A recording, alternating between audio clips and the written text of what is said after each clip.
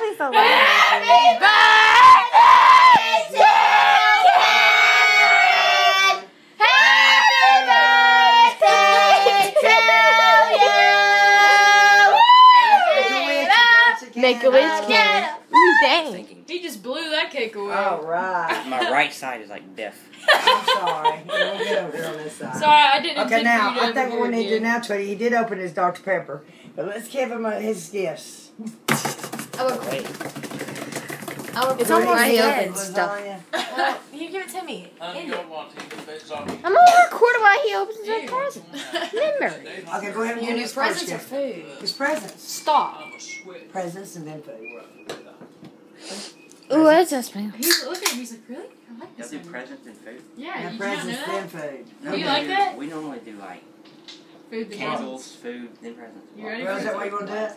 It? No, no, Look at him. He wants his presents. He's like, no, no, no, no. I like What are you presents. doing? They didn't get you no presents. This is all mine. I Sorry, bro. I gave you most of the ideas, woman. Sorry, bro. I I'm helped. broke. I'm No, kinda you broke. didn't. I helped her more. I'll back you up later, though. Do Christmas you want time one will whole be good. can of Dr Pepper, or you want more?